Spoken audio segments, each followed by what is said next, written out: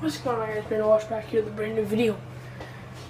Guys, I was thinking, um, I'm also at another wedding. You guys remember my old channel?